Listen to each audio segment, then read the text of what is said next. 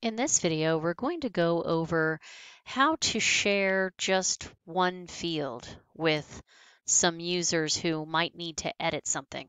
The client ask was to allow certain people to edit a particular field. So in my example, in the sandbox, I'm using the number of employees field on the account as my example.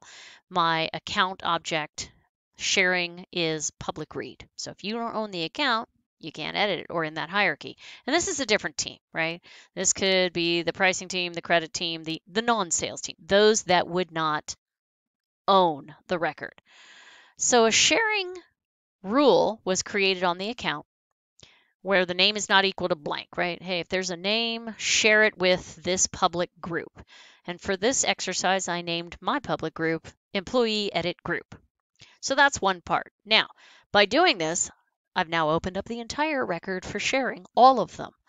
Uh, currently, if I just left it at this, it would be no different than modify all on account. But we go further than that. We need another part. So I've added a particular username, Shane, to this public group. They are the, the one person that I am testing this with. And then on the account object, on the account, I have a validation rule to lock down everything else.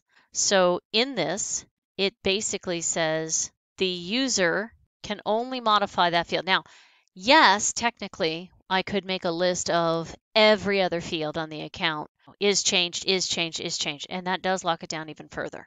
If they edit this particular field and another field, that could allow them to edit the record.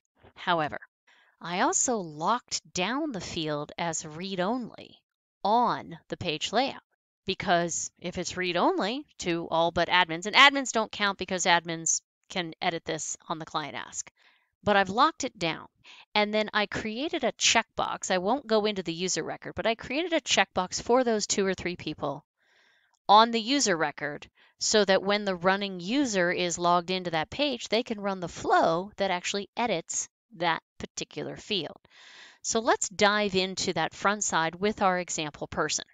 So now I'm logged in as Shane to look at this, and Shane is not the owner of this particular record. And if I try to edit, let's say the annual revenue field, we'll just make something up here and click save, it does give me the validation rule there, but I notice that it is editable right on this field, even though I had the UI locked down to read only. And what I realized in looking at the backend again is that I had updated not just the actions, but the entire page to a dynamic page layout. So I did lock that down on the dynamic side. Now it's read only. And yes, if I try to edit this again, annual revenue, and then click save, Review the following fields, employees. Only the employee field can be edited.